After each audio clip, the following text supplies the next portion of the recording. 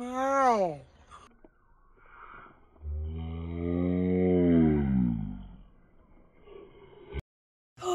know what his name should oh, be. Oh, yeah. Snails um, kill 50,000 people a year. Yeah, that's true. Let me see.